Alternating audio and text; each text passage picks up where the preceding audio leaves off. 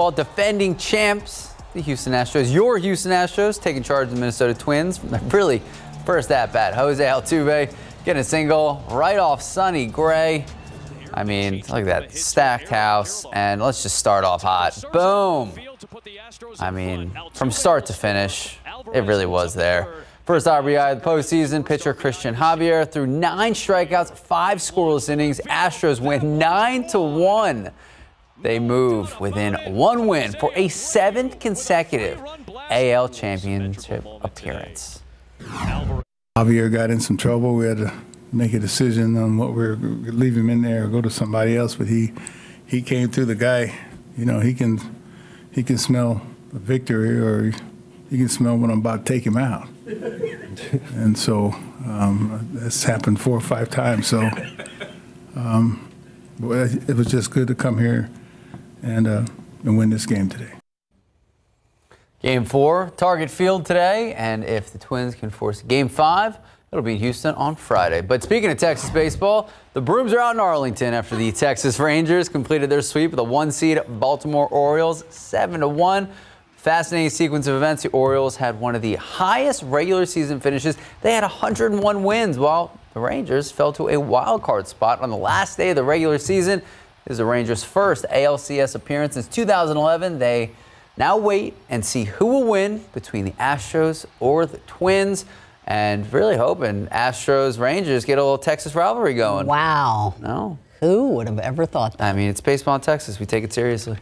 Uh, I know. Adam Caskey is kind of upset. His mm. twins aren't there. RJ Marquez had a great point earlier. He said, "Thank goodness for the Rangers because it takes some of the uh, the negative spotlight off of the Dak Prescott and the Cowboys."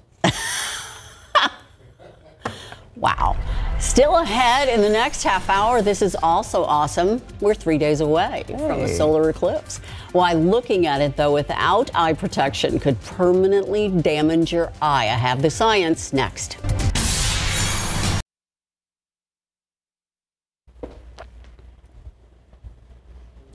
Are you ready? All right, special glasses, homemade cereal box viewers that Sarah Spivey made for us.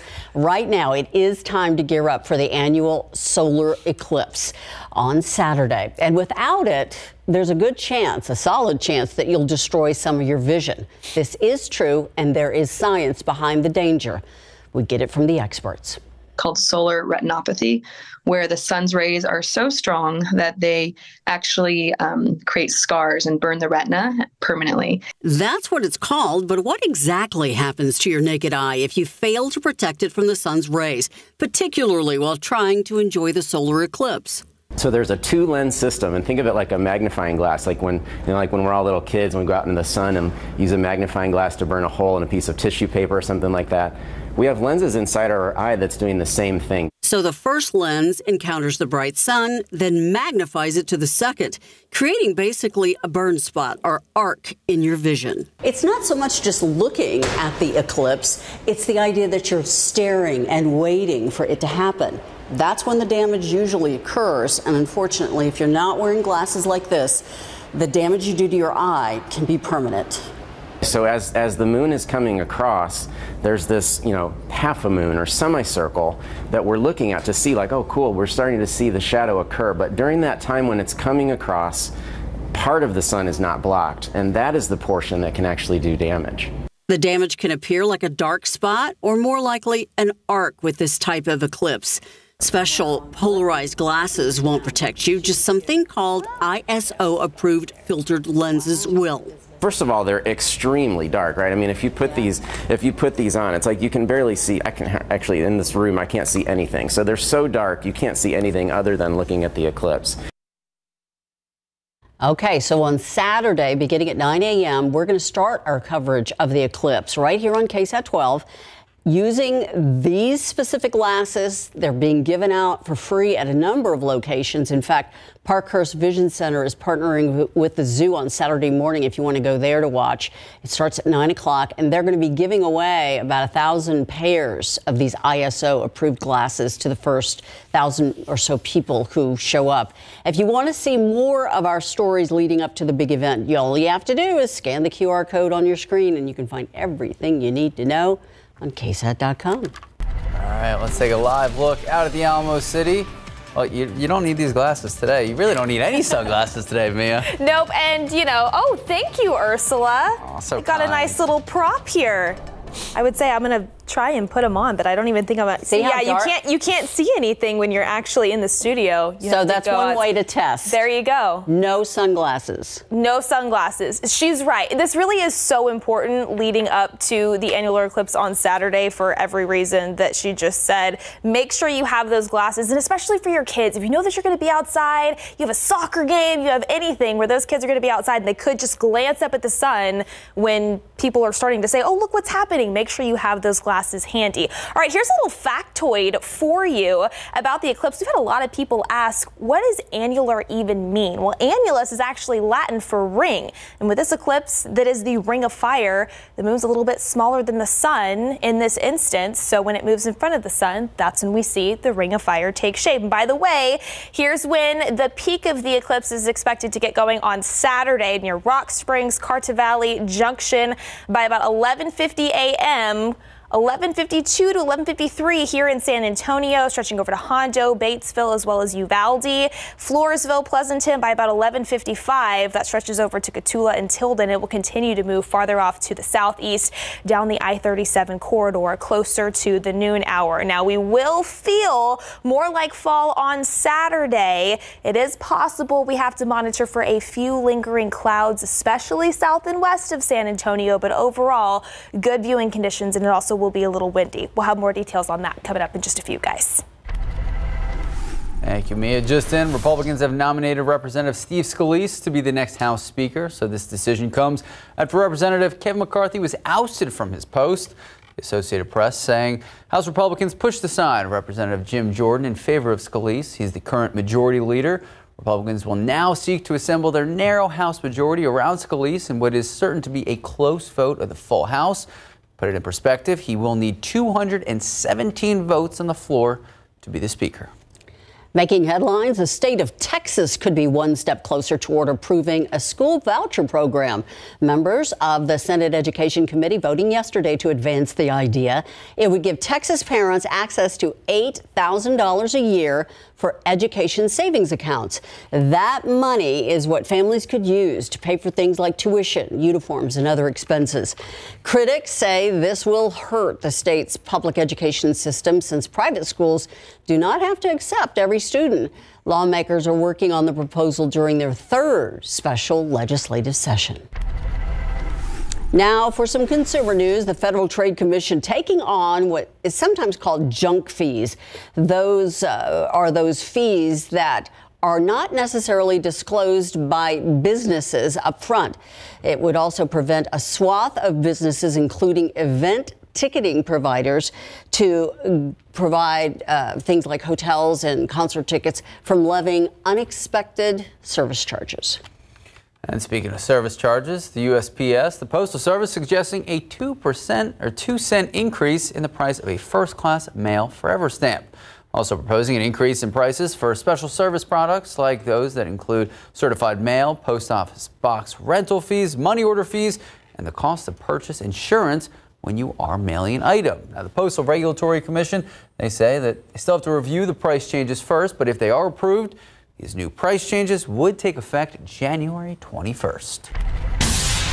A lot more to come here on the news at noon. How long construction is expected to last at the San Antonio airport as they begin an exciting new time period on their new ground loading facility. But first, this. Oh, That's a pumpkin. That's And it's the world's largest one ever. How much it weighs and what it took to get it this size. That's a basketball on the pumpkin. Did you see that?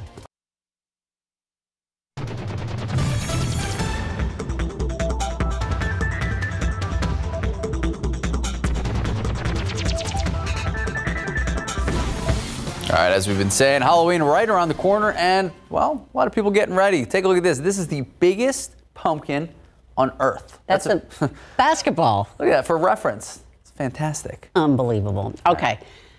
This weighs more than 2,700 pounds. and Danny Newspoke with the, was the man who was able to grow it. 2,749 pounds, your new world record for the heftiest pumpkin ever. That's heavier than a fully grown bison, a 2010 Honda Civic, and about 270 regular sized pumpkins. I was like, Are you what? Minnesota's Travis Gienger says that his behemoth first pollinated back in June, and since it's 2023, Jordan to the circle, puts the shot in the air. Good! he decided to name it after number 23, Michael Jordan. I spent the whole night waiting for the great pumpkin. It's almost unfathomable, but Travis says over the summer, Michael Jordan grew up to 70 pounds a day. And here's the secret he drank more than 120 gallons of water a day. Yeah, they're 98% water. And once MJ hit a circumference of 21 feet, Travis knew this one had a shot to break a world record and win the Safeway World Championship Pumpkin Weigh Off in Half Moon Bay, California. I did this in my backyard. So last week, Travis and friends used a tractor to load Michael Jordan into his trailer, and then we know what happened next. Half Moon Bay is in the record books. That's a world record! Travis won $30,000 for the top prize, but he says he's ready to memorialize a different number, 2749. You gonna get that tattooed somewhere? Yeah, right? That's what I said. We got to go out and get matching tattoos to my wife. Up next, Travis says he's arranging to now break the Guinness World Record for the largest pumpkin carving ever. You would need like a chainsaw to cut that pumpkin, right? In New York for ABC News, I'm Danny New. I'm guessing they took the $30,000 they won and paid their water bill. That's fair. A hun- a hundred and twenty gallons of water a day. That is insane. Yeah. Uh-huh. Very, very large. I was happy that they threw in the little Charlie Brown reference, though. Very, very cool. And yes, definitely spooky season, definitely pumpkin season. Today, it is feeling like it. So far, our high temperature 72, but of course, we will climb a bit more as we get towards the peak heating time of day. We'll see how many peeks of sunshine, breaks in the cloud cover we can find. Even warmer tomorrow, even more so on Friday, but then we see that next cold front send another batch of fall air into south central Texas. We've talked about afternoon highs, but just how cool could those morning lows get? We'll tell you after the break. We hinted about this yesterday, but now we want to show you some of the changes that are in store for the San Antonio International Airport. So big groundbreaking on the airport's new ground load facility happening yesterday. Take a look. This is what it's gonna. Well, there's the groundbreaking. Everyone's very excited, but you know, you put a shovel in the dirt. I want to see the actual blueprints because there's a space for passengers to board planes from outside the airport on the ground. I think that's what it. There we go. Beautiful. They say the project is going to make flying in and out of San Antonio more efficient and more accessible. As airlines arrive in those five positions that'll be available at a ground load facility, they'll be able to embark and disembark not just from the main door, but from the back door. So we're taking passengers on the aircraft and off the aircraft twice as fast. Right, $20 million project being funded through grants from the Federal Aviation Administration, and the project set to be complete around 2025. And we're hoping 2023 ends on a very wet note. Yes. To make up for all the drought that we've had for two years. Yes, the uh, triple dip La Nina that we were dealing with. Thankfully, we did see some decent rains earlier this year in the spring months, but we know that it has just been an incredibly hot summer and finally we were able to get our first kind of round of cooler fall weather in last weekend and today it's not all that bad thanks to the cloud cover that we have in place. 73 degrees now over at SA International. Winds out of the east southeast at about 5 to even 15 miles per hour at times.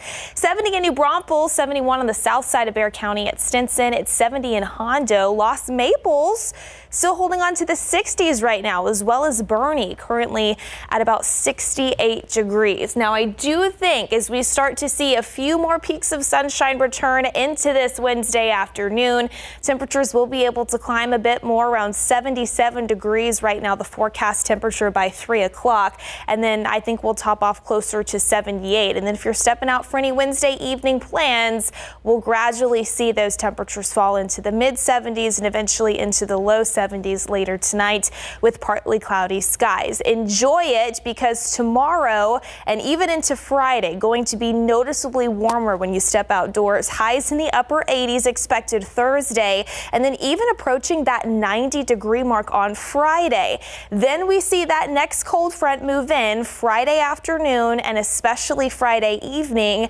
After that, we'll start to see that drier air work back in, so it will be more comfortable as early as Saturday morning and especially this weekend. Nice weather, fall like weather, just in time for the annular eclipse that we were talking about a little bit earlier. All right, let's talk about that setup. You can see all of the rain that we were dealing with over the past 24 to 36 hours is now moving east. There's a little bit more across portions of the Pacific Northwest. This area of low pressure is going to track eastward here in the next couple of days. Temperatures over there currently in the 50s. You can see as it moves into the central plains by Thursday afternoon, we'll start to see that front work its way into the state of Texas by Friday. It moves through south central Texas late Friday afternoon and into the evening. As of right now, we're really not expecting significant rain with this. We're expected to stay dry in San Antonio, maybe a stray shower closer to Eagle Pass in the Rio Grande, and then after after that,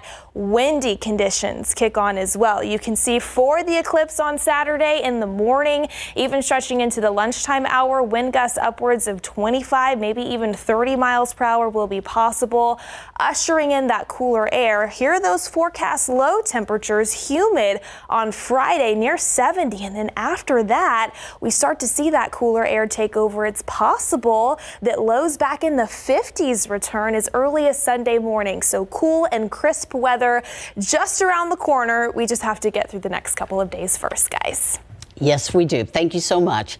Coming up, what one family is doing to keep their son's memory alive this Halloween season.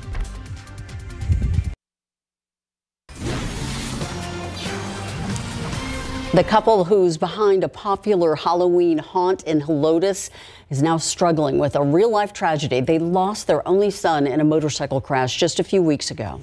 Jude Weber shows us how, even through their own pain, they plan to keep bringing happiness to others. This is how you enter.